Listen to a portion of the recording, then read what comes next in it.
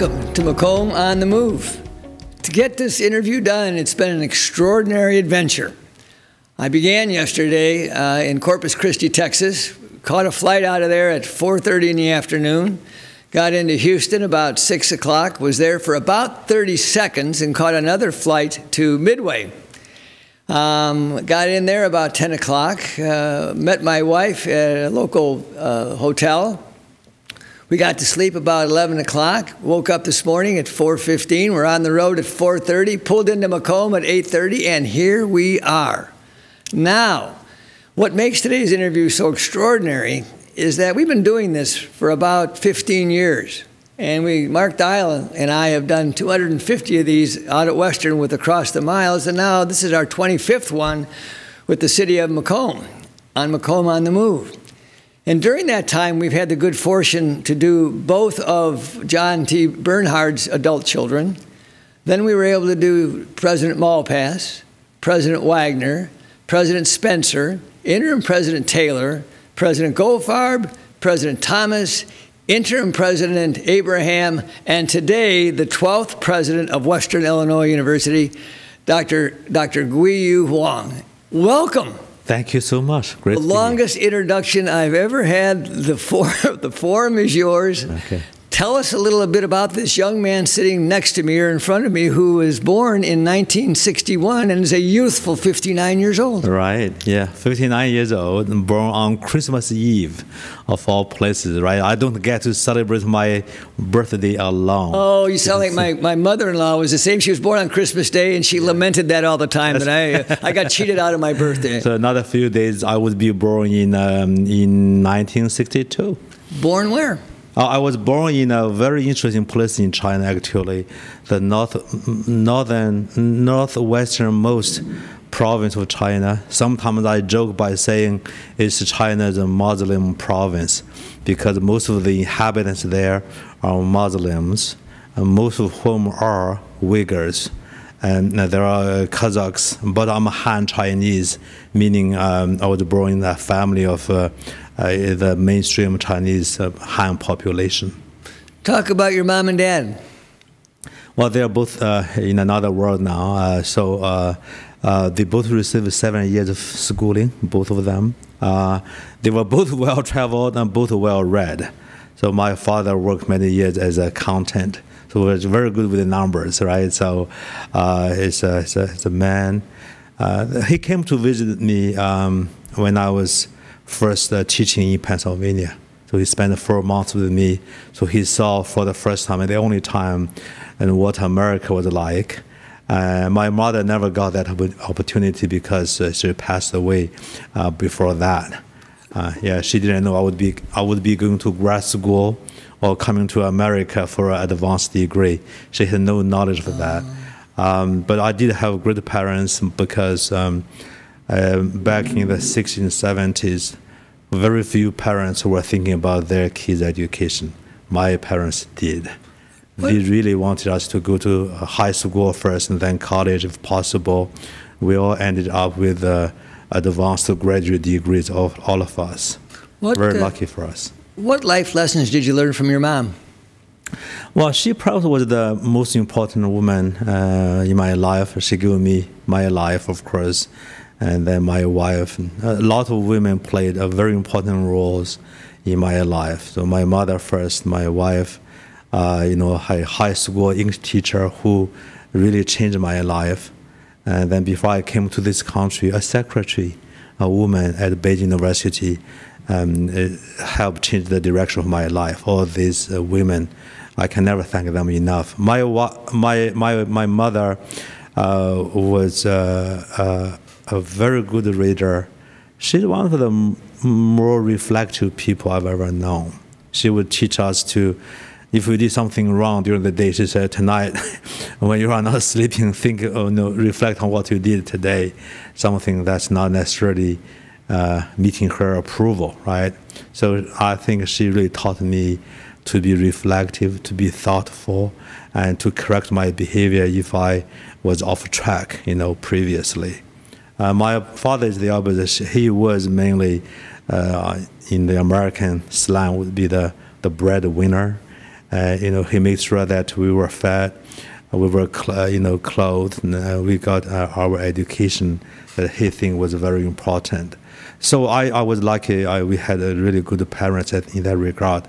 In a time when China was politically uh, very chaotic, uh, even violent, uh, in the in the late 60s and early 70s, for for a period of 10 years.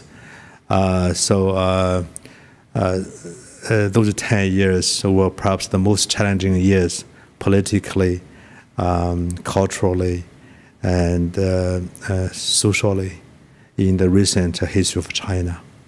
Your dad taught you about the importance of courage and justice too. Aren't those a couple of attributes that he said were very important for you to? I think so. Yeah, I think so. Uh, my father, uh, uh, amongst his peers, you know, the, the people of his age, he probably traveled more than anybody else I was aware. Living, we mentioned my birthplace in northwestern China, live there, work there. Then northeastern China, uh, live there, work there. Uh, before we finally moved back to the east coast of China, where my ancestry was.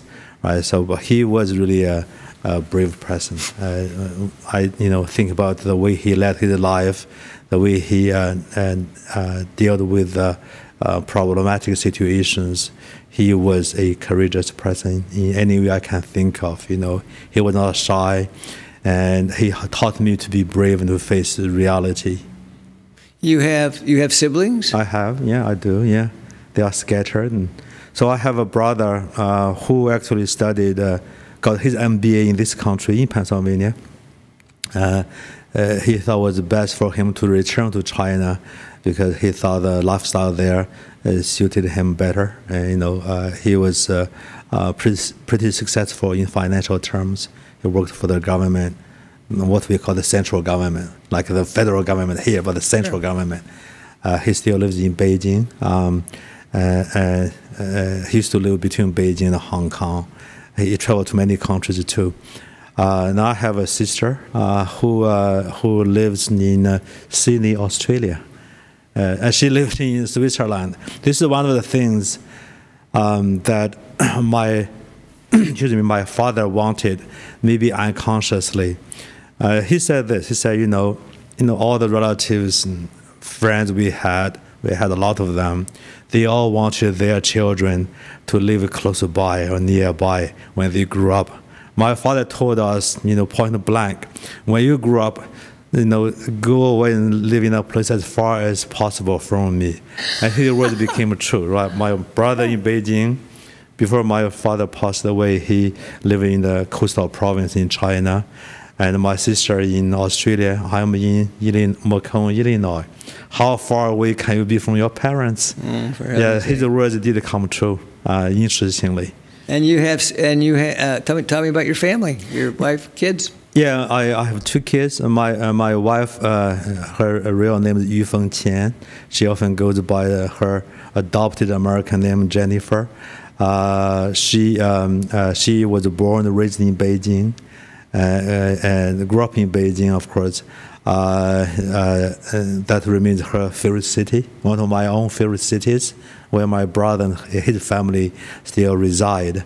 Um, currently, she's a professor of education um, at LSU, Louisiana State University. Uh, she, uh, she teaches courses in uh, uh educational research, uh, foundation courses, technology courses, statistics, uh, wow. research methodology. Um, she's a real scholar, um, published a few books, many articles. and right now, she lives in Macomb with me and Claire. Uh, she teaches uh, online. And she's also the program director or coordinator of the EduTech Tech program at LSU. As you know, I was a chancellor uh, at one of the uh, regional campuses of LSU in Alexandria. That's how it came about. So uh that's my wife. Um, where, where, where, did you meet? Well, we met in Beijing. And you met in Beijing. Met in Beijing. Was first date? The first date? Oh, yeah. Oh, that was back in the uh, in the mid '90s. Do you remember it? Uh, yeah, of course. I, actually, I don't remember that date. I, I, won't, I hope she won't mind. But we were married in uh, in Allentown, Pennsylvania. Oh. Yeah, we met in Beijing. We got married in in Pennsylvania, eastern Pennsylvania. Well, talk a little bit about uh, Claire and George. Yeah. And so uh, George is uh, uh, the firstborn. Uh, he's 20 years old. Uh, he's he will be a senior uh, at Rice University in Houston, Texas, where you just were, where I was a few days ago. yeah, he's back. Uh, he's a double majoring in political science and history. He has a passion for both history and, and uh, politics. Uh, I think in his mind, someday he wants to be a lawyer. So he's uh, studying for it. Um, maybe he will become a lawyer, but uh, that remains to be seen. He's academically a very strong student. Um, uh, he got very good grades at Rice. Uh, before college, um, he did very well in several schools. We moved a lot uh, around a lot. I'll say. Yeah, and uh, but um, he was able to uh, make championships in debate, both in Vermont and state championships, both in Vermont and Louisiana. Uh, so he went to a college and that he really loves, and he loves Rice University and uh, the city. He loves Houston. Um, I lived in that area for six years, so it was uh, maybe was meant to be. Claire is 10 years old. Um, she attends uh, a St. Paul school in town, in Macomb. So far, um, she told me and her mother repeatedly, this is the best school she has ever attended. And no kidding. Hey. She's really serious about saying that and she loves the teachers and the principal and everybody there. And she doesn't want to stay at home on weekends. She wants to go to school. She she really regrets she's not able to go to school on weekends. She uh, she accompanied you to the Gwendolyn Brooks dedication she did? a couple weeks ago. That's right. I had a chance to meet her. Oh, you did, Delightful yeah. young lady. Yeah. yeah, you did. That's you right. were having a hard time with parking. That's right. she was very patient. Uh, she sat there for the several hours, very patient and uh, uh, it was sort of disciplined. Uh, and um, so she's a very positive person. How about your, how about your education, uh, undergraduate and graduate? I had a very interesting educational journey, thinking about you know uh, the education of Henry Adams, right? That famous book. Um, uh, I must say that uh, my first nine years of uh, schooling, um, I wasn't sure how much I was learning. I mentioned earlier uh, China in those years were politically uh, very eventful, very violent. Um, and I, I, I'll tell you a story, whether or not you don't believe, it's up to you, but it's real to me. Uh, we were in 60 schools, right? Uh, on every Wednesday afternoon, we did nothing but do what we call political study. So we would study uh, documents, issues, uh, uh, announcements made by the government. We spend the afternoon doing that. Saturday afternoon, the same thing. On Friday, typically, we took time to do what we call manual work. It could be cutting grass, could be pick up manure somewhere. It's, that's what the school did in those years. Yeah. So it's uh, and then though the emphasis was also on what they call uh, awkwardly three goods. You have to be uh, morally or virtually good, you have to be academically good, and also physically fit. Physically good. Those are the three goods. That literally, okay. And those are the things that we did. Uh, we were not studying as much. So then, were you a good manure guy? I guess I was good enough to be uh, in the company of many others who do the same thing. uh, so uh, then I, I spent only one year in high school before I went to college. The college uh, is very unique. It's called Qufu Normal University. Unique uh, in every way because it was uh, uh established in 1955, um, uh, uh, located in Confucius' birthplace, and established in his memory. Right, it's unique in that regard. There's only one right, Confucius, yeah, one, Confucius. one Socrates, one Plato. Right, right. he's one of those three um, historical figures. Um, in a small city of uh, a quarter million, uh, characterized by the Confucius Temple, the Confucius mansions, and the Confucius uh, forest where he's buried. His tomb is still there. Um, so, uh, that university is unique because uh, it has a very strong programs, nationally known programs in English, mathematics, education, history, Chinese, uh, really, really strong programs, nationally known. Uh, also, it is the only university that has a nickname that is called Graduate Student Production Base. Uh, the anecdote is that university is the only one in China that graduates uh, are the highest percentage of students who go on to grad schools. Oh, wonderful. Yeah. They don't, that school itself doesn't like that name. When I go visit, I say you should use it. Nobody else has that name, Yeah. graduate student production base. Uh, this year I heard a report that uh, 50 students in 50 dormitory rooms, in 50, 50, with no exception, all of them in those 50 dormitory rooms were accepted to graduate schools, top graduate schools throughout the country. It's this year. And where did you go? Uh, I went to Beijing University. Uh, lucky for me. Um, uh, some people like to say uh, China is Harvard, but that's not the way I see it. Uh, it uh, I characterize Beijing University as a combination uh, of uh, Harvard and Berkeley. It has a, Berkeley is a political activism, Harvard's in traditional edu- edu- educational excellence. So how do you end up at Texas A&M? College Station out Yeah. in the middle of nowhere. Yeah, uh, somewhere, right? Um, College Station. Yeah, you know, I moved from Beijing uh, in a very interesting year, uh, uh, early summer of uh, 1989, uh, uh, when China was ending a pretty uh, bad episode. Um, so, um, uh, but before that, I was admitted to Texas A&M with uh, what is called a graduate assistantship. So that's a lot of money for me. It's eight hundred dollars per month Ooh. for a you know student yeah. graduating from a, a, a grad school. Uh, I met great professors. And, um, so went there for my doctoral degree in English, specifically American literature. Uh, is a great school, uh, uh, very strong in research, great professors, a very expansive uh, uh, campus, 54 5,400 acres of land.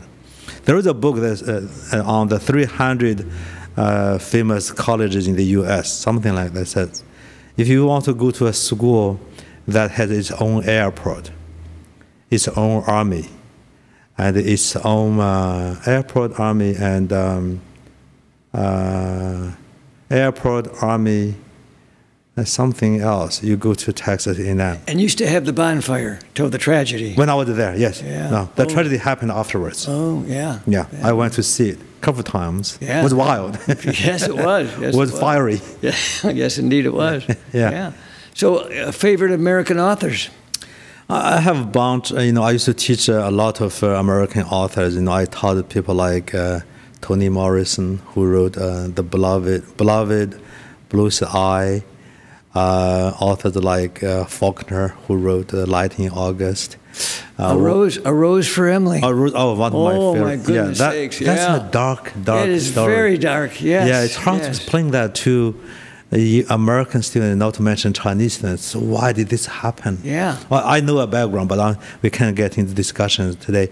Um, Walt Whitman, Ezra Pound, T.S. Eliot, uh, um, you know, Dan Brown, all great writers. Thomas Paine, Thomas Jefferson, uh, Lincoln. I, I'm one of the few people who probably have read all the poems President Lincoln wrote. Really? You're, Yeah. So you're a prolific reader. I read a, I read a lot. I both read in Chinese, English. I was also to read a lot in in French as well. But uh, yeah, I have favorite French authors and Russian authors and Japanese authors too. So, yeah. now it's time to go to work. Yeah, So you are at, I'm just going to run through these. yeah, Beijing University, yeah. Texas A&M, Right. Lehigh, Yeah. great school, Kutztown University, of Pennsylvania, where you happen to meet who? No, I didn't meet him there, but this is Kutztown University. The current president, Ken Hawkinson, is the former provost here. We Right. met when we were both presidents at uh, in Pennsylvania. We were in the same system. He lives in the president's house there, uh, where I had several dinners when I was uh, a faculty member. I went back to see him, his wife, lovely couple. Anne Marie, people. yes. Anne Marie, yes. Yeah. yeah, Grand Valley State in Michigan, yeah. St. Thomas University in Miami Gardens, Right. Norwich University in Vermont, LSU Alexandria, and Edinboro University of Pennsylvania, your last stop. Yeah. What have you learned uh, during your leadership roles at these institutions? Well, colleges are different, and they all have their proud, uh, you know, points of pride, and they all work uh, uh, to produce the next generation of leaders, next generation of citizens. So colleges and universities are an incredible uh, force in shaping the future of humankind, in shaping the direction of uh, uh, uh, civilization. The things I learned, I, I, I was a faculty, I taught for many years, uh, then became a leader, I was a chair, you know, a university director, um, college director, dean, division dean. At each level, I learned something new because I encountered new problems, I met new people. Each person has their own merit, and they teach me different things. Um, so I learned that uh, you know the job of an educator is extremely important. Being a, not a, a educator can a, a professor can influence a lot of students in the classroom, but being a leader and an educator, you can change the life trajectories of many more people. Uh, and I didn't design to be a leader, but I became one, uh, you know, uh, through hard work and, and uh, change of circumstances. Um, so I, along the way, encountered uh, good mentors, which I think is very important uh, for the success of every individual. You've been, you're well traveled. Um, did you experience racism on your travels at these different schools? Was that out there? Uh, I think racism is real. Um, you know, uh, in my mind, I see two types of racism. Uh, it can happen in any country. I'm sure China is not different because in China, when I lived in Beijing, you, you encounter people from all over the world. Then people uh, of Chinese citizenship, like Tibetans, Mongolians, Manchurians, uh, minority, minority groups. I encountered all of them, and I saw some manifestation of racism in that country, as I did in other countries, because of the, the color of your skin, the texture of your uh, hair, and the way you dress, the way you smell, right? We cook and eat different things. Uh, so I, I see that. The, for me, the two types are the open, co- uh, uh overt racism. You can see people writing things on your car, people calling you by certain names, and then that's overt, open racism. Uh, the harder type is the subtle or covert racism. Uh, people choose to ignore you because of your ethnicity, your religion, uh, your culture, or the way you behave, right? Um, that's harder to combat, right? I think if we, as a, as a, as a human species, if we can effectively deal with covert, subtle racism, everybody will be a better person, right? You know, uh, I understand uh, people have different uh, feelings or opinions about, you know, uh, different groups. Even within, say, the white population, there are groups. Within the Asian population, there are groups, right? Uh, and a lot of these opinions are legitimate uh, you know, rooted in something. Some of them are less so. Uh, but I think every citizen, uh, every educator has a, a tremendous responsibility um, to combat racism, whether it's on the university campus or in the community. I think the important thing really is how do we deal with uh, ignorance. By ignorance, I meant that in a general sense, right? I'll tell you a story if you have the time years, uh, when I lived in Allentown, which is only 90 miles from Manhattan, New York, my wife and I would drive up there just for a meal and uh, and uh, you know shopping and meet people and friends. In this restaurant, we sit down to have um, to eat a dim sum, right? The small dishes for lunch. And so a middle-aged woman came to me, a Chinese woman, Cantonese woman, she came to us, and without any warning, she spoke to us in Cantonese. So it's a, it's a dialect in southern China, spoken in Guangdong province, Hong Kong, Macau, uh, for, for, natural, right? But I didn't understand a single word of it. So I said, I said, do you speak Mandarin or standard Chinese or English? Then she said, yes, I do. Now what's happened next surprised me. He, she said, how long have you been living in America? I said, eight years. And she was even more surprised by saying, You have lived here for eight years and don't speak Cantonese? I was dumbfounded. I said, I didn't come here to study Cantonese, I came here to study English. And that type of ignorance, right? Where do you find it? How did it come around? That's the responsibility of an educator right? You may come here to study Cantonese, but I did not, right? You may come here to study French in America.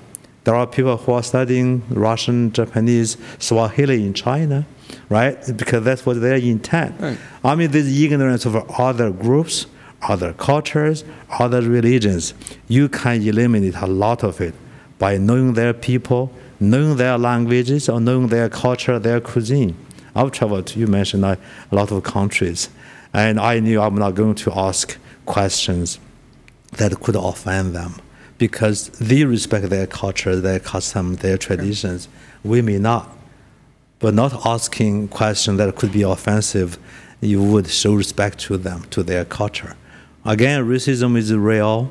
I, I think now the society is getting better as a whole, understanding other groups. But I learned something recently from my wife. She showed me a quote you know, uh, many people may be familiar with it. You may be the sweetest peach, but just remember, some people don't like peaches. You know, it's really, um, it's, I want people uh, to judge others on the merit of their own strengths or weaknesses, not uh, stigmas, not stereotypes. And that's, those are the things that we need to combat on a daily, weekly basis. I personally encounter racism here and there, right? Uh, subtle as they are, it's discernible. It, it, you can feel it. Um, you know, but I'm, you know, I'm not going to be bothered by it on a daily basis because I have a job to do. Some people warmly accept me for who I am. Some maybe less so. I'll accept that reality as well. But uh, I'm really able and willing to work everybody. I hope other people behave the same way. Edinboro, Edinboro was your last stop. Yes. And you did some dramatic things there, but you said you're proudest of the fact that you were able to stabilize the situation there. What do you mean by stabilize? Was it was it chaotic when you got there? A couple of things. Uh, so they were faced with uh, you know uh, a significant deficit, uh, right, debt service. Um, there are also discussions about uh, faculty retrenchment, staff furloughs. Those were, those were big deals. Sure. Uh, we were able to uh, handle them, I think, pretty methodically and creatively.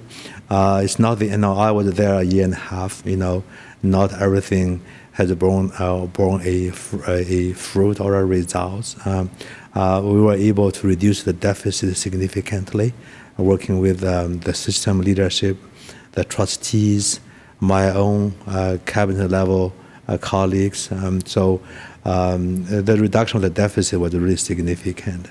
Uh, we stabilized the enrollment um, during COVID. That was significant, right?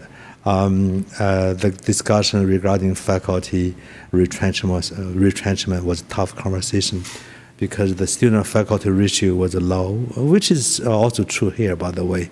I have not been shy saying that uh, to the faculty leaders on our own campus. We are 13 to 1. Where I was was 13 to 1. Right? Um, and that's the ratio you would typically find in a relatively small liberal arts college. And the national average is above 20 to 1. Right?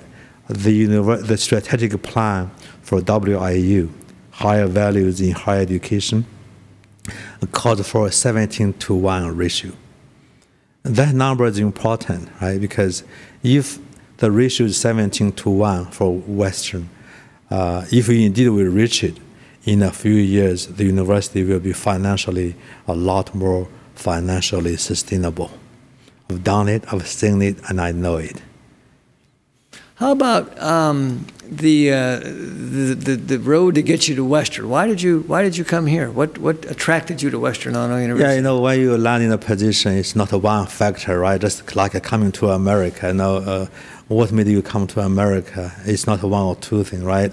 I knew about the Western, right? Uh, even more, a little more through, you know, uh, uh, Ken. Uh, uh, you know, I, I consider him a trustworthy friend, right? Um, and uh, uh, when you get a phone call, right, say, hey, the opportunity to look at. Uh, that happened to me a number of times in my uh, uh, career in this this country for 32 years, right? What is the potential of the university? This university does have great potential.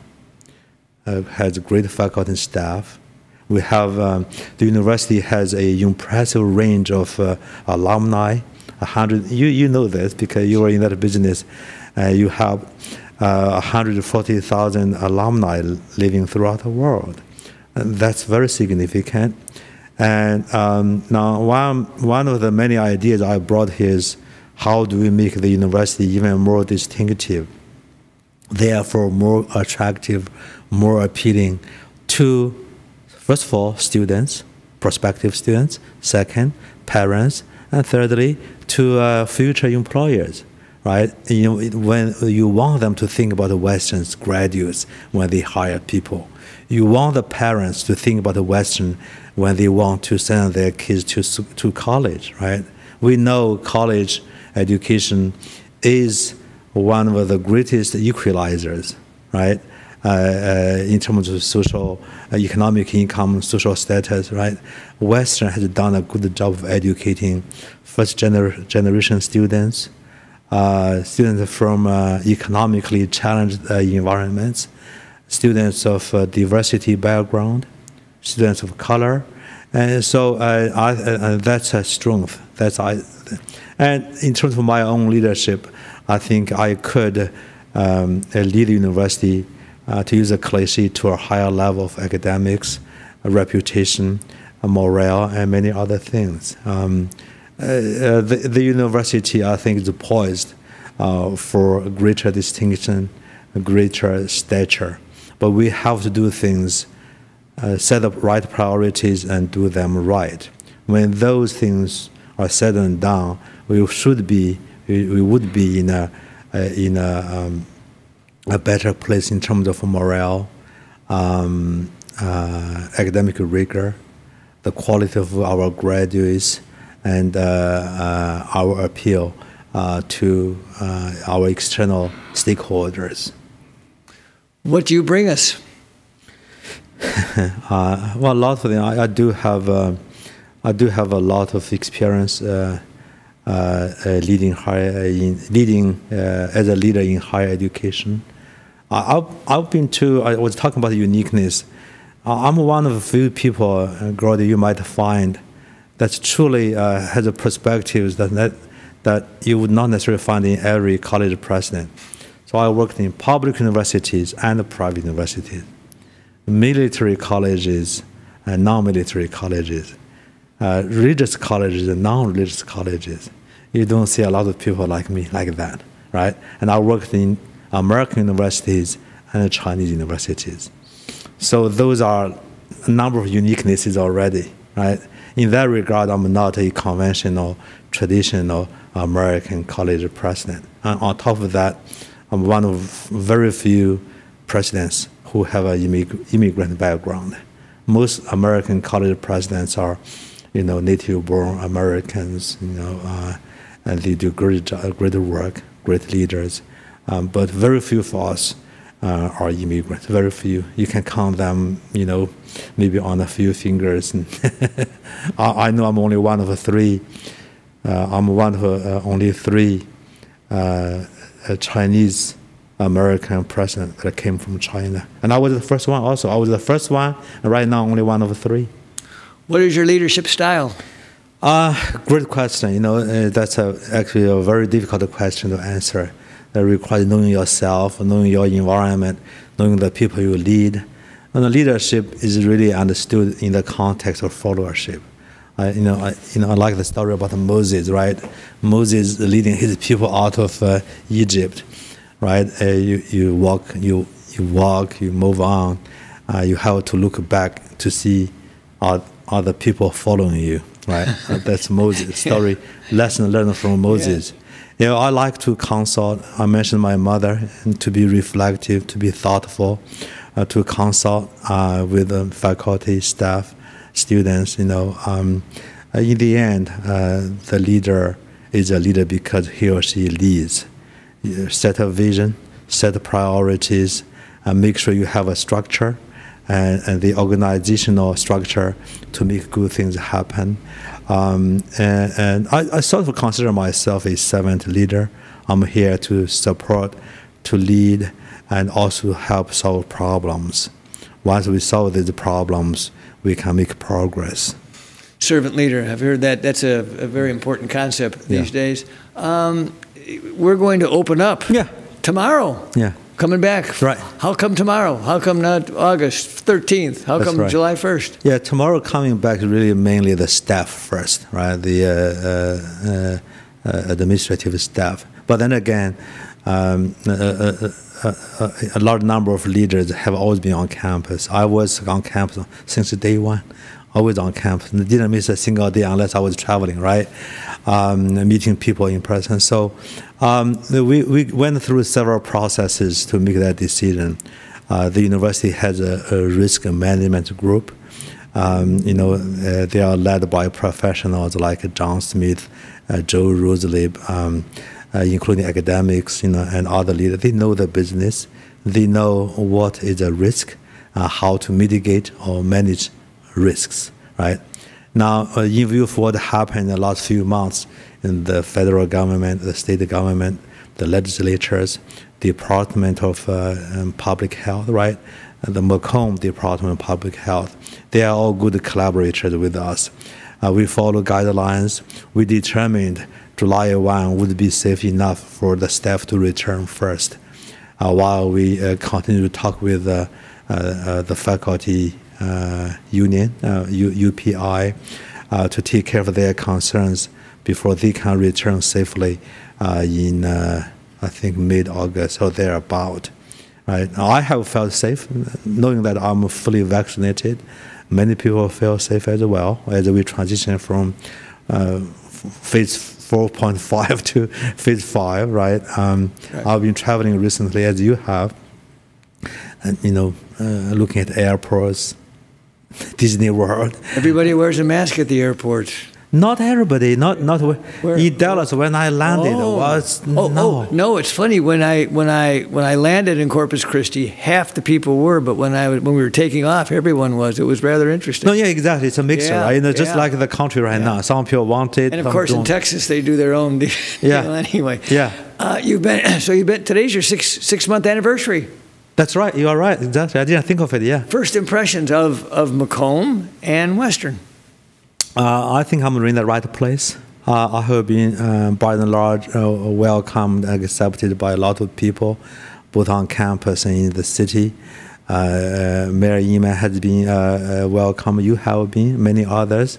I met a lot of alumni over the last two months. Met just about 400 alumni at a golf golf outing outings in Chicago on campus then in Arizona and, and uh, Florida, uh, uh, many people express support, express appreciation, knowing that we have challenges. And the locals, you know, I felt welcomed. Um, it's safe, it's quiet. I tell you something more personal.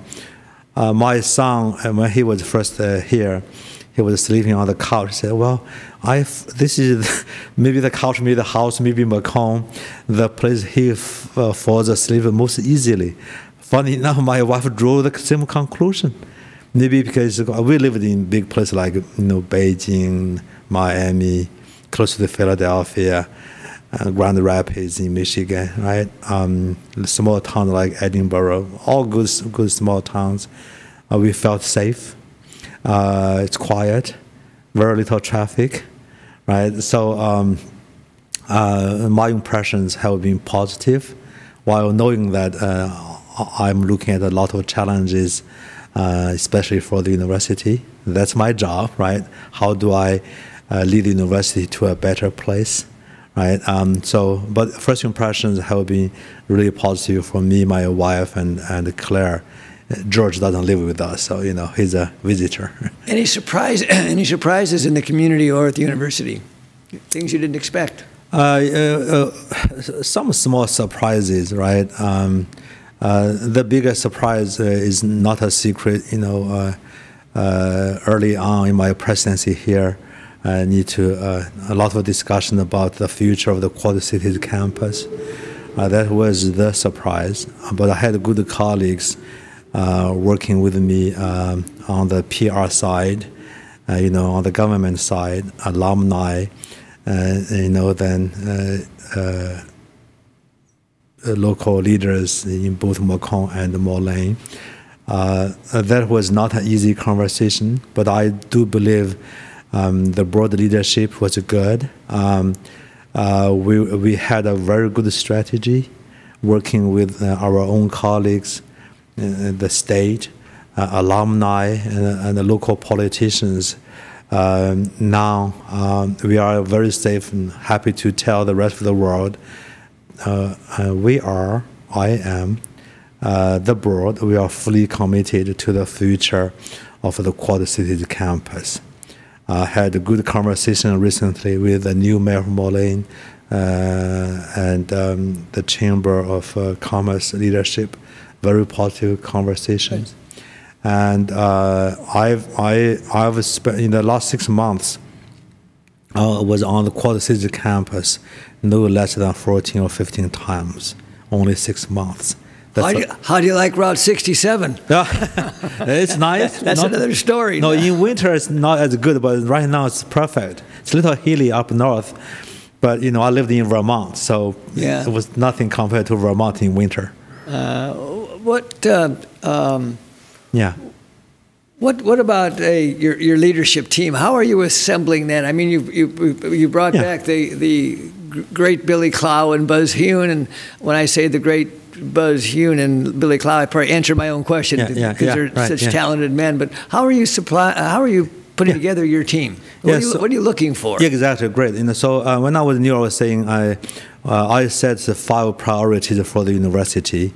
I'll name them quickly, right? So uh, recruitment and enrollment, student retention, um, uh, diversity, equity, and inclusiveness, right? Internationalization, uh, and, uh, and uh, town-gown relationships, right? Those are the uh, some of the major priorities I set for the university. Would you, would you go through those one more time because yes. they're so important? I want to make so, sure so, um, our audience gets a chance to exactly. digest those. Recruitment and retain, enrollment, that's one student retention.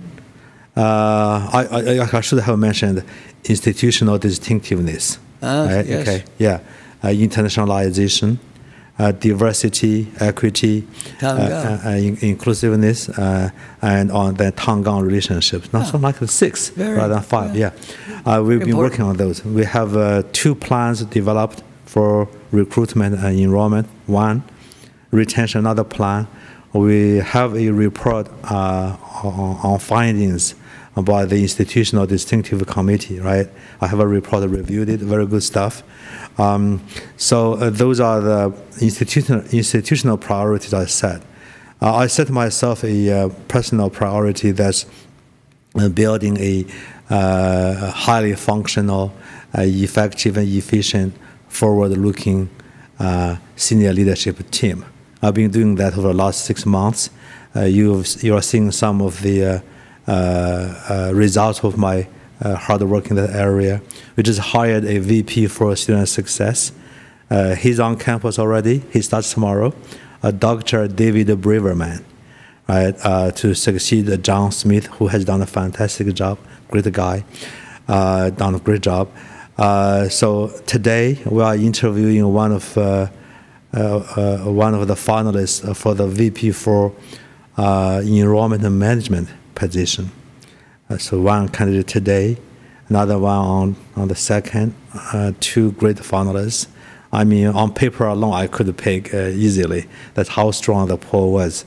um, actually led by this search was led has been led by um, uh, Dean Clow, who is becoming the interim provost, and uh, uh, we are launch a, new search uh, for the uh, uh, VP for Finance and Administration. we had interim leadership in Teresa Smith, who lives in um, in a nice place in, on the East Coast, who also has done a fantastic job. Uh, she and I thought a lot about, thought very similar on a number of things, uh, important issues. This is her last day. I really wish her well, Teresa, if you are watching. Maybe not. Uh, maybe she's not watching. Um, so we have uh, Shannon Sutton, uh, who is the grant director, who did the job for a couple of months before. So it's not a stranger to that position. so Billy was interim provost for two years. Um, did a fine job. Uh, now, um, uh, having him do the job again, the transition would be minimal, no disruption. Um, uh, so uh, and he knows everybody more people than I do, right? I'm still newish, um, so the transition uh, right now is pretty smooth. who's, who's, a better cook, you or Billy? He likes. I wouldn't know. He has to make that judgment. I never eat his cooking, nor have I, nor has he eaten, eaten mine. Yeah, maybe him. We will find out, right? Someday, I hope. Yeah, I'll eat your food too if you cook for me. Absolutely. yeah, so I, I think um, so. Um, I hope you know in the next uh, few. I'm taking it uh, uh, very thoughtfully, very uh, methodically, uh, listening to a lot of sides. When I listen to uh, the faculty senate, talk to the UPI, talk to the trustees, talk to students frequently, so I get perspectives from all sides, doing things thoughtfully and respectfully. Let's talk about the, the, the big one, which you mentioned, but let's get into a little bit more. Yeah. Um, one of the reasons you're you're here, I assume, is enrollment. We need yeah. we need butts in those seats. I mean, we our enrollment has dropped precipitously. I mean, we were at 14.5 back in '74, yeah. and we've just you know, and it has not just been unique to us; it's happening around the country. Yeah. yeah. What are you going to do to, to, to increase enrollment? Yeah, now this uh, it's a, it's, that's a, obviously a very important question, but I want uh, uh, any audience out there to understand enrollment is very important, but that's only one of many many measures of uh, success, institutional success, right? Um, uh, I named that first because over the last many years, uh, we uh, I saw a decline across the nation. I was I'm thinking about data I saw a few years back. Right, the Northeast has a sharper decline in, in a high, the number of high school re, uh, leavers. The Midwest was the second. The growth was seen on the West Coast and the uh, South. Right, so uh, now uh, the truth is, uh, many many people are not having as many children as they did before, right? Right. In the last few years, international recruitment was also a challenge because of COVID and because of the way international relations are played out between countries, right? So, so COVID, international relations, they have not been helpful helpful to international recruitment. So right now, I've been spending a lot of time uh, working with our uh, recruitment team. I'm talking about people like Gary Swigan and Doug Freed, and they are really profession, good professionals. They know the business. As of today, uh, we are uh, they already shrunk um, the deficit between uh, uh, a few days ago and today. We are down to a hundred something under 200 of deficit. So that's why it's a priority, right? Now, that priority, while it's important, we want to recruit uh, uh locally, regionally, nationally, and internationally. So, so, the whole the whole gamut. We need to do this area better. We need to do better throughout the state. We need to do better throughout the country and the world. Exactly. And I'm I'm emphasizing a couple of new things. Though. First of all, new markets, places we have not been to. We need to uh, aggressively explore those markets. How, how, do we how do we do that? For example, with, with, COVID and, and the restrictions on bringing people. Well, no, good question, fair question. No, um, uh, we, we are doing uh, we have been doing more virtual events, but uh, recently more uh, real events, in-person events. Right, I saw some students' parents at an event on campus a couple months ago. we are doing more of that now. Uh, going out more as well, uh, traveling more. Online, we can always do work. Online recruitment or online program, we can always do online recruiting. Internationally, uh, once the, the restrictions are lifted, we'll do more recruitment uh, outside the country. Another important piece I want everybody to understand is really the uh, is true of the old cliche, you know, uh, one bird is worth more uh, uh, worth mm, two in the bush. Right. What we do with the re student retention, the students we have on campus, WIU is a good institution. institution. Somebody will tell you, right, you know, you're as good as, as strong as your weakest link, right? But one of our weak links is student retention. We graduate a lot of highly successful students, but many did not graduate. So, again, that explains why I'm emphasizing a lot on the importance of retention. We, we should increase the retention rate from the consistently 65% or thereabout, hovering around 65% freshman to the second year. We should try to increase it to 68, 70, 71, 75%. My former institution hovers around 71, 72. How? Now, so here we have a retention initiative office now. We just developed a plan that's being vetted across the campus. I reviewed that plan several times. A lot of very interesting ideas in there. This is led by uh, uh, uh, uh by Justin Shu. He's the executive director of um, uh, retention initiatives. All, that's very important. That plan we need to implement. That plan come this fall. Uh, now advising, we have college advisors and university level advisors I'd like them to, to shift their focus to exclusively on student retention. That has to be done, right? Because uh, you know, advising is a critical joint in the entire process. Uh, we know there are issues that are harder to overcome financial problems.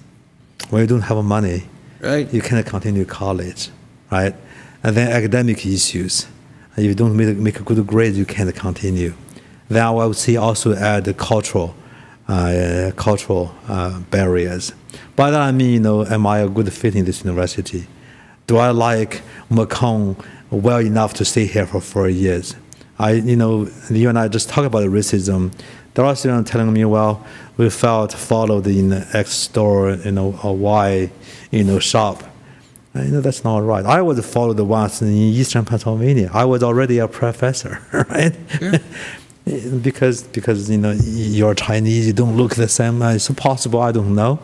Uh, so culturally, we want to make the campus, uh, you know, um, welcoming, respectful, understanding of differences, so that people feel protected, respected.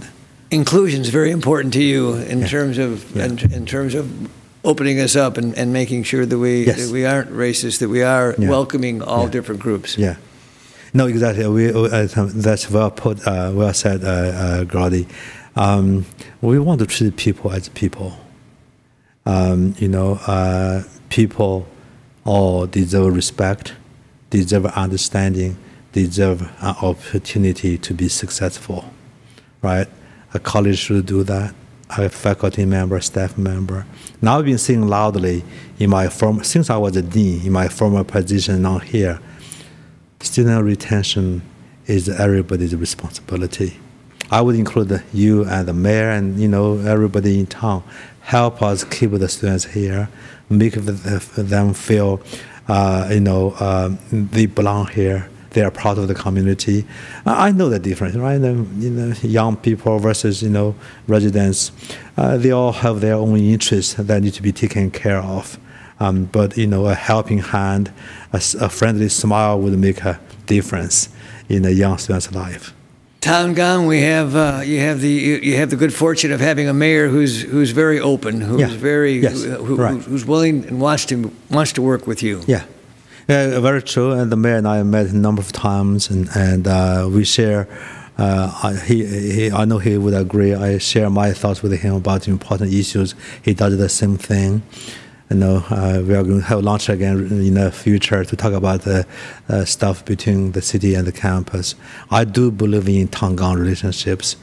Um, I, I my, the way I define the relationship between these two entities is interdependent, mutually supportive.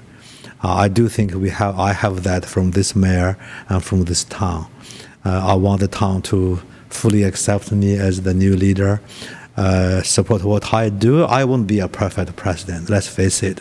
I hope you are more perfect than me, but I know I'm not, not a perfect human being. Certainly, I will not be a perfect president.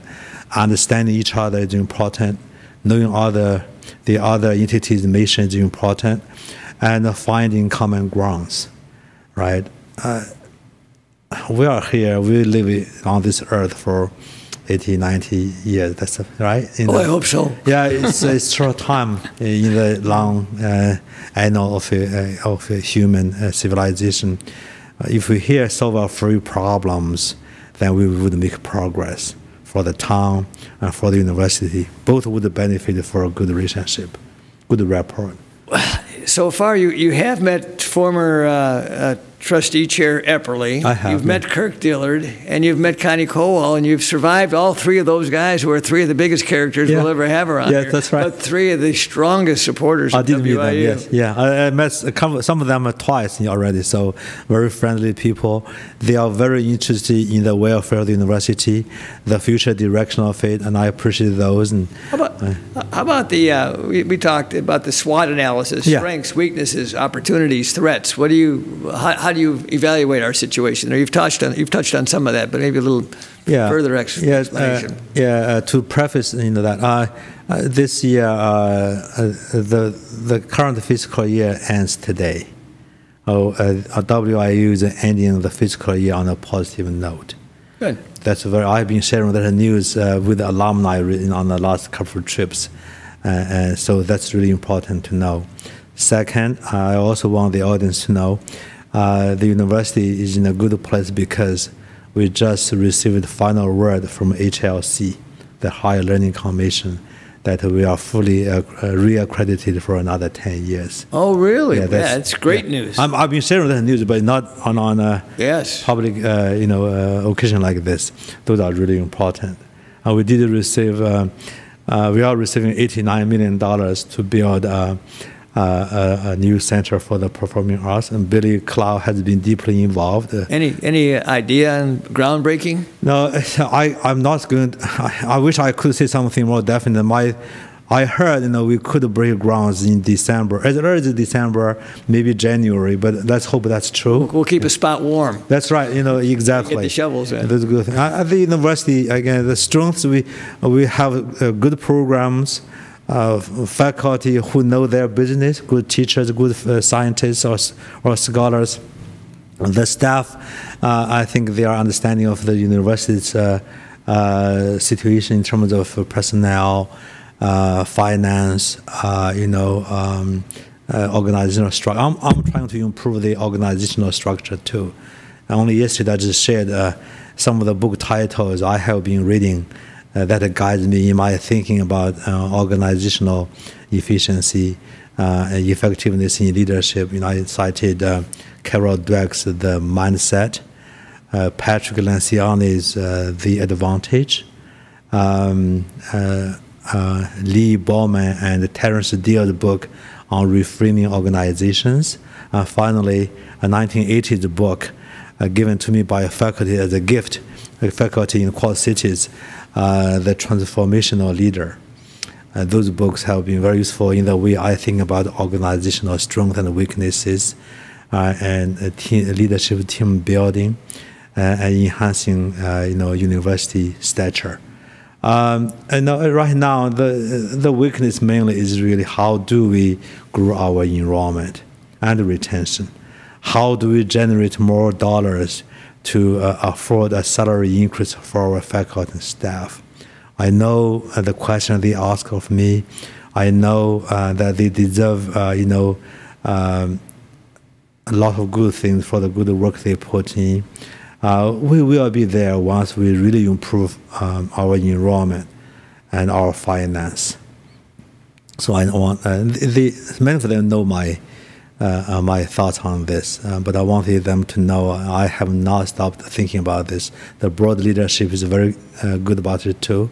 They recognize the challenge we have today and that we want to overcome tomorrow. Therefore, the day after tomorrow, we can uh, do more things with more dollars. Right? You know, that's, that's one area we want to really improve uh, enrollment related to finance. Um, uh, the, the, the, the threat, pro, uh, you know, uh, th- threats can be understood from a political viewpoint, a societal viewpoint, and then in this case, even international. Today, you know, if you read uh, Thomas Friedman's book, nobody can be immune. Um, no country can be immune, even though that country can be economically strong from another country who is going through financial, economical, economic challenges, right? Sure. So the, the, the, the, joke was if, if China coughs, America might catch a cold, vice versa. Well, COVID happened, nobody was spared. I mean, nobody, everybody was affected. So we no longer we no longer work in a silo. So the threat can be local, can be regional, can be international. You mentioned you mentioned China, can uh, kind of off the subject, but maybe it's very germane as well. Yeah. But U.S.-Chinese relations, can we can, can they come together?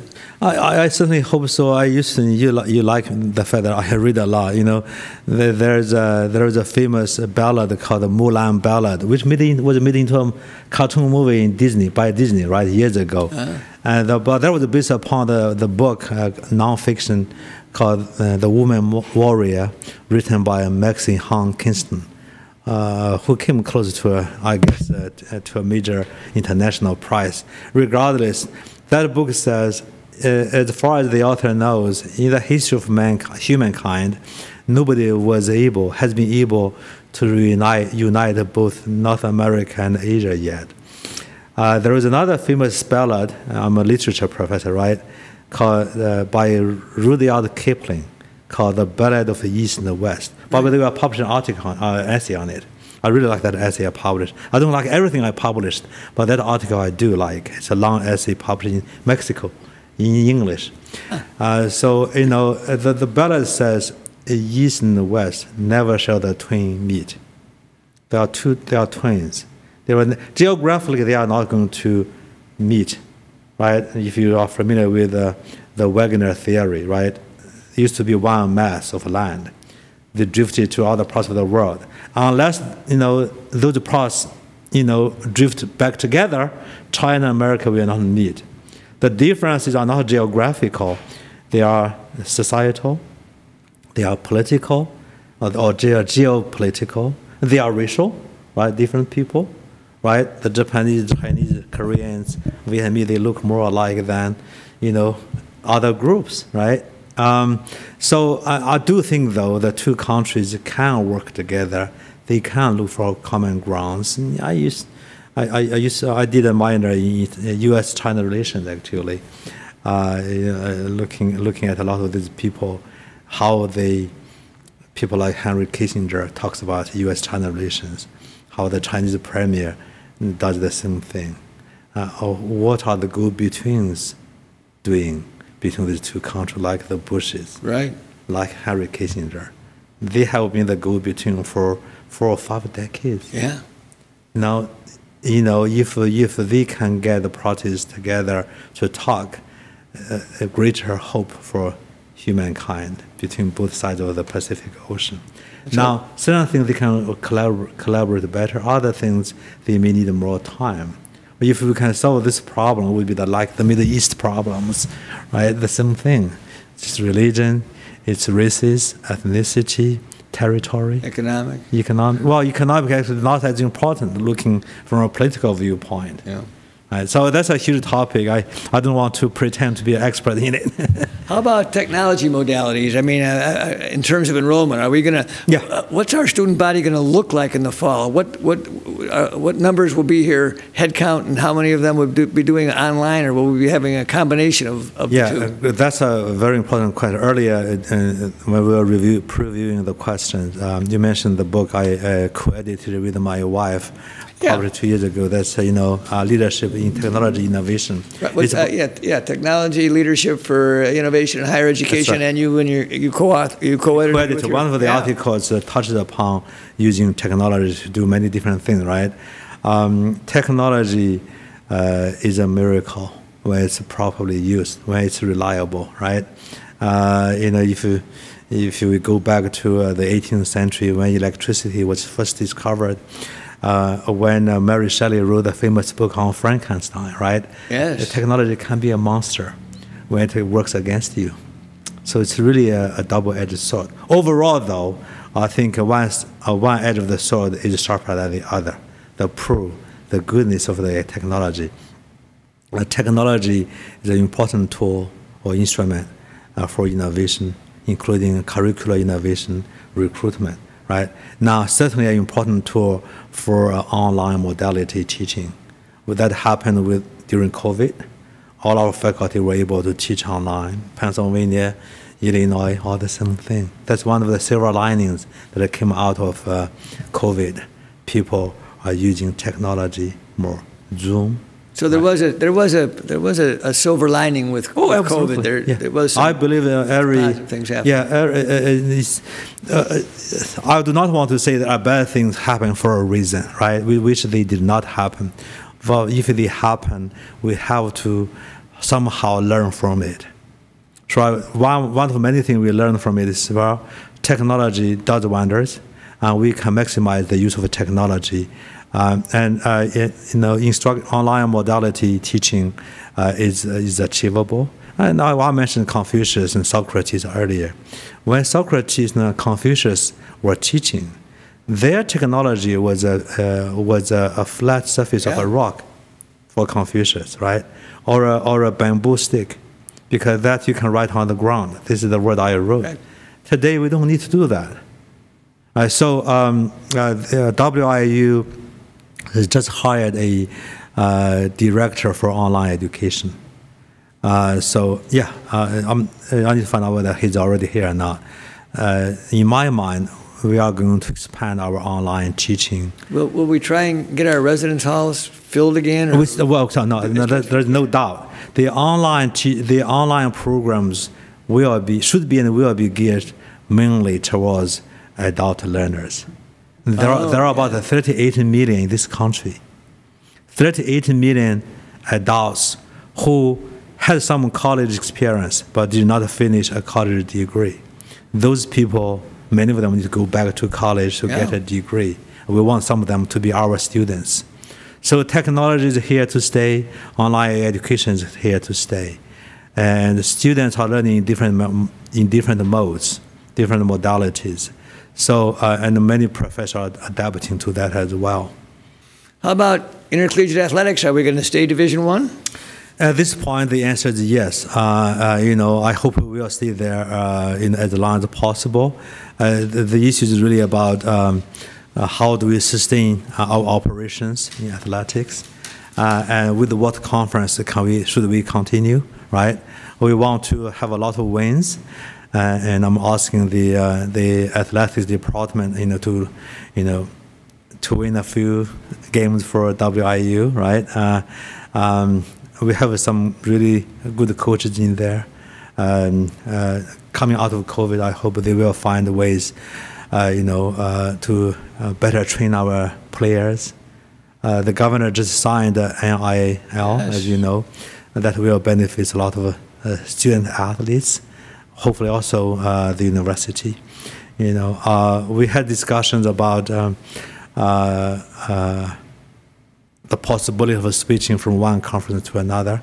And those conversations are still ongoing.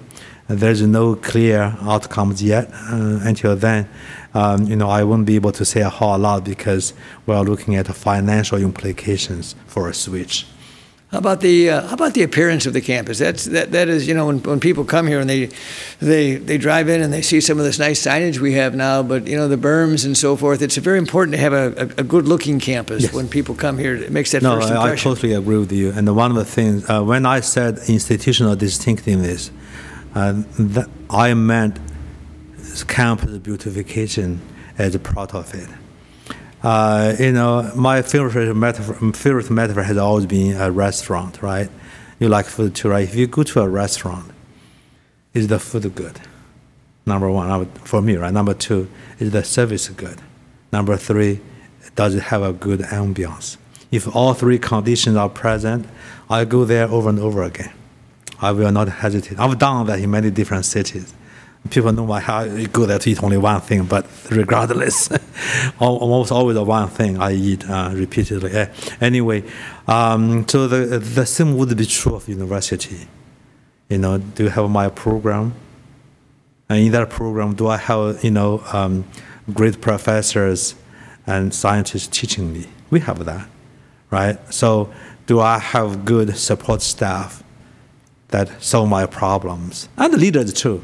And then am I in a beautiful environment? And I've visited a lot of universities throughout the world, you know, uh, in Africa, Europe, Asia. Our campus is good. It does need some work, uh, road work, yeah, uh, trees. I told this to uh, Troy Rhodes, who's a great guy, a great worker. Wonderful job. Yeah, we need we need to look at things like that. Can we make it even prettier? Right?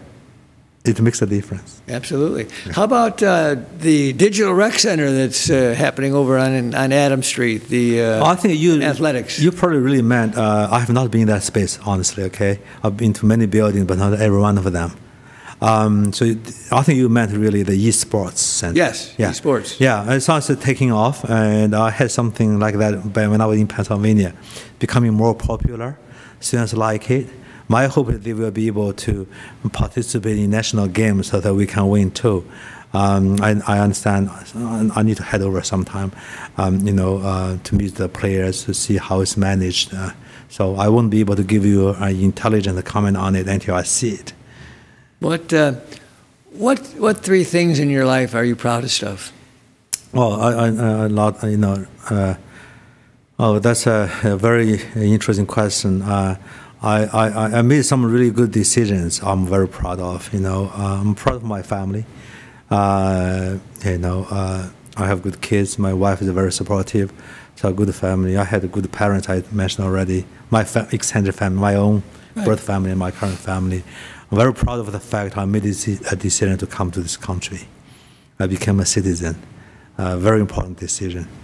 Uh, another important decision I'm proud of is. Um, uh, I mean, decision to come to America and become a citizen.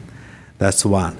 Uh, uh, so uh, uh, uh, I thought a brilliant decision, to use a British expression, brilliant. brilliant decision was to um, to go to grad school at Beijing University. I think that's a really a most important turning point in my life. It's a dream for many in China. too many, you know, go to Beijing University how do you do that? Only very, very few get to that. It's more comparative with Harvard because more people, right?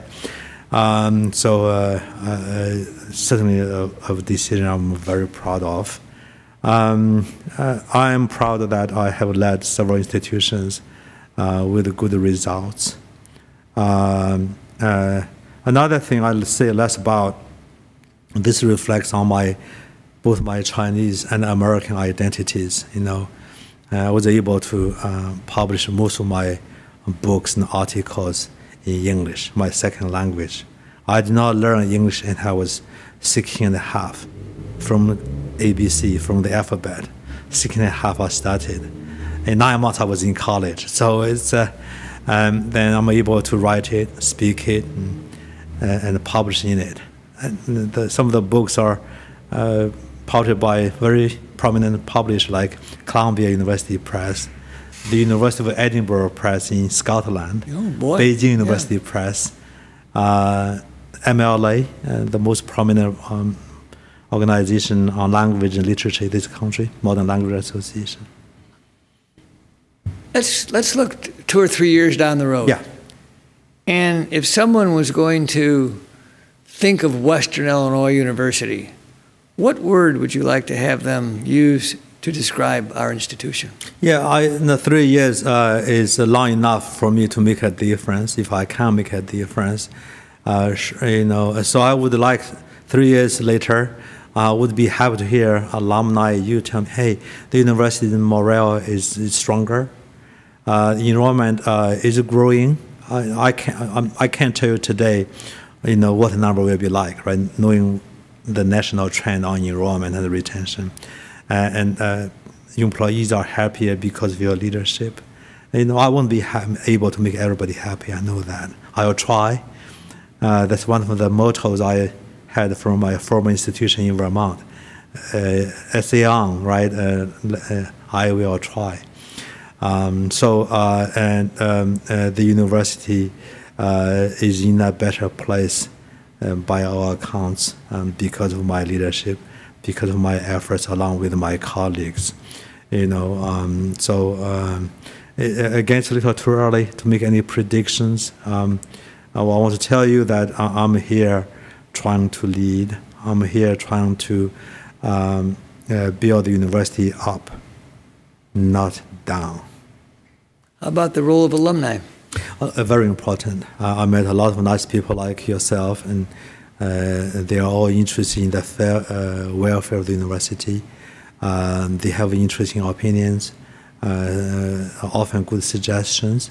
Um, I have tried to implement a few you know, recently about the signage, for example, listening to Apperly. Uh, you know, uh, oh, yes. yeah, uh, marketing strategy, listening to uh, Connie, right? You know, uh, so people do have good ideas. For us, is to what extent can we implement those good ideas? do we have the resources? At the same time, the alumni, if you are listening, you know, we, we need always need your support. Whether it's five dollars or five million dollars, I'll take both.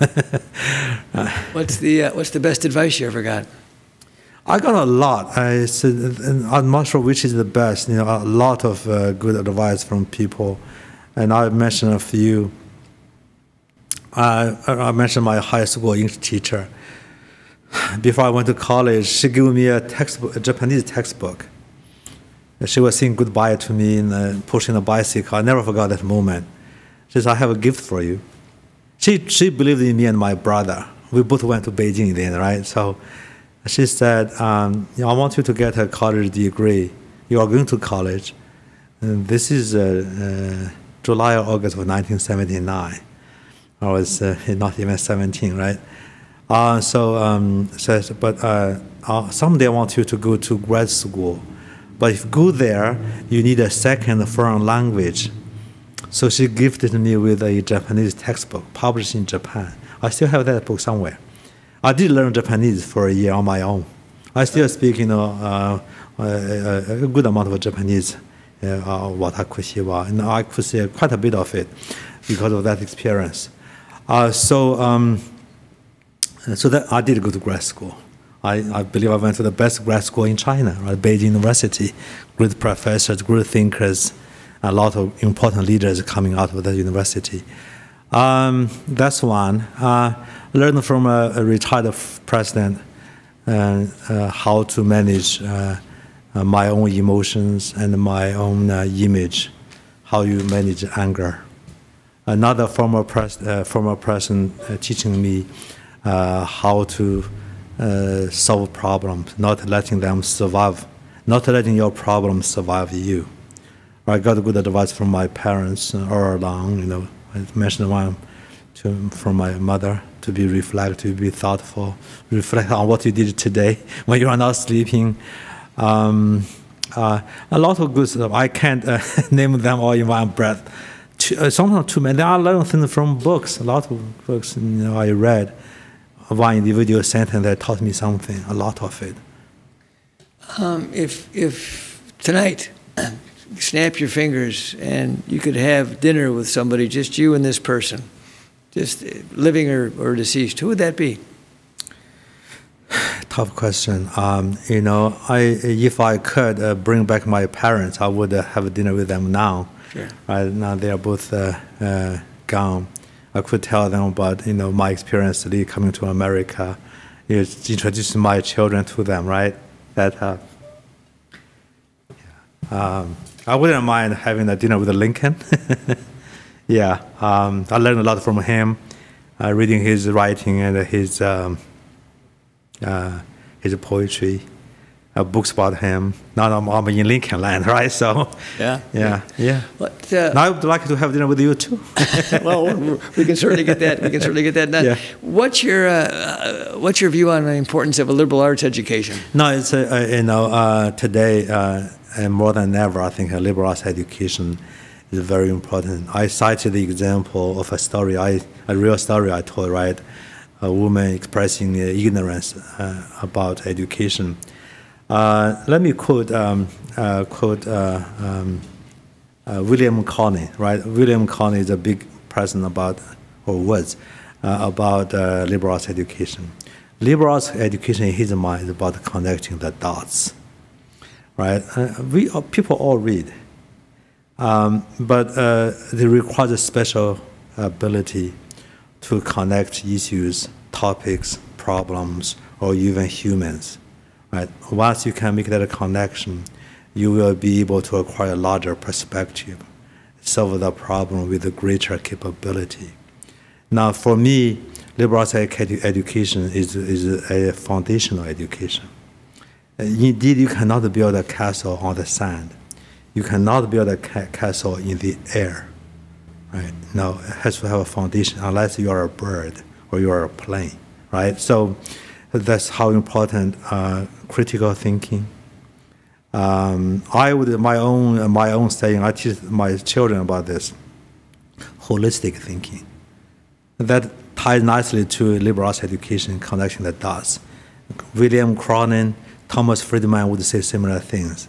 I'm seeing something a little different. Critical thinking, creative thinking, then holistic thinking. Right? When you need to focus on the issue, critical thinking skills are very important.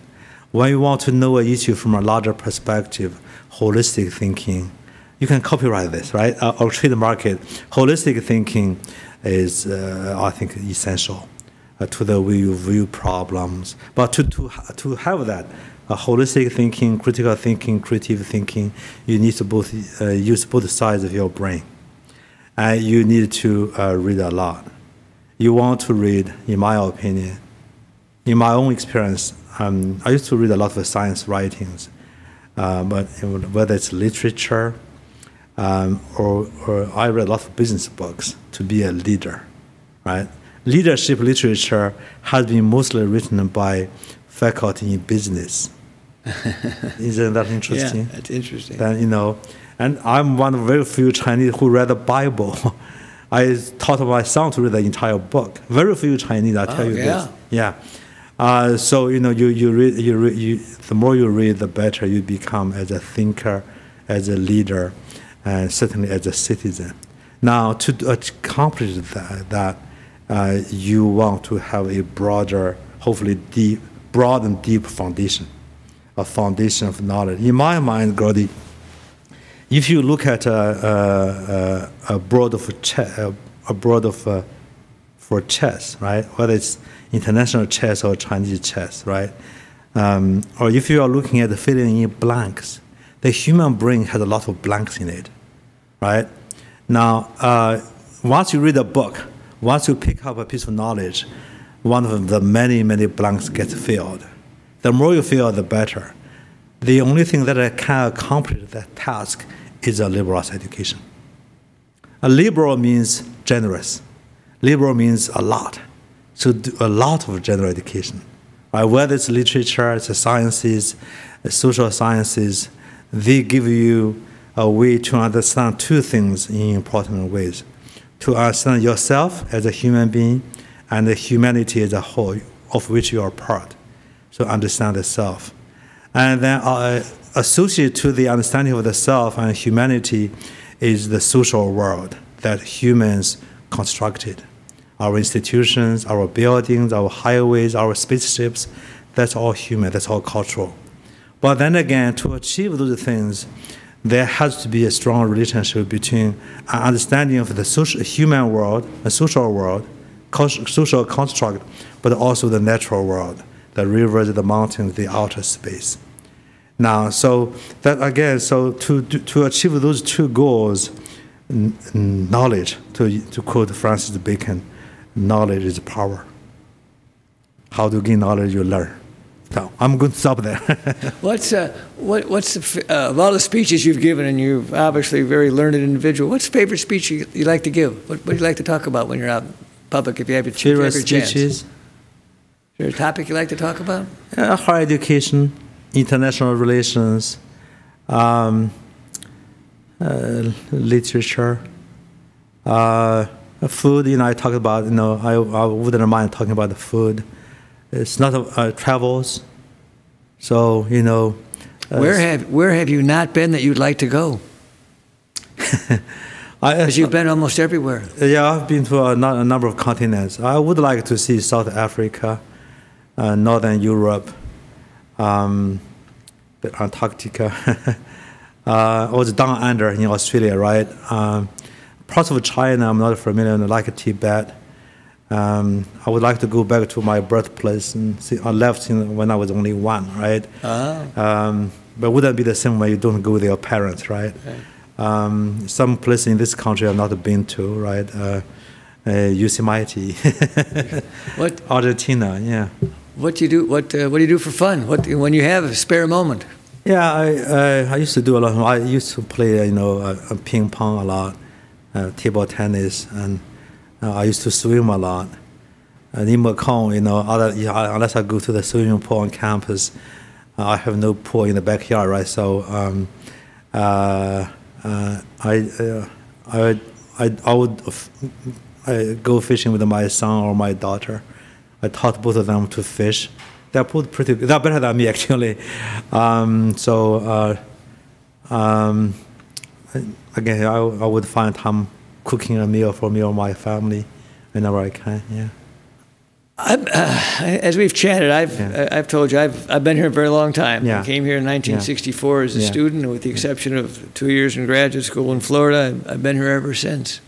Um, what questions would you have of me as someone who's been here for as long as I have? Yeah, no, that's a very, a very important asset, right? You have a lot of institutional memory. You have a, a, a, a large body of knowledge for alumni. So I guess, you know, uh, what can I do better to engage the alumni?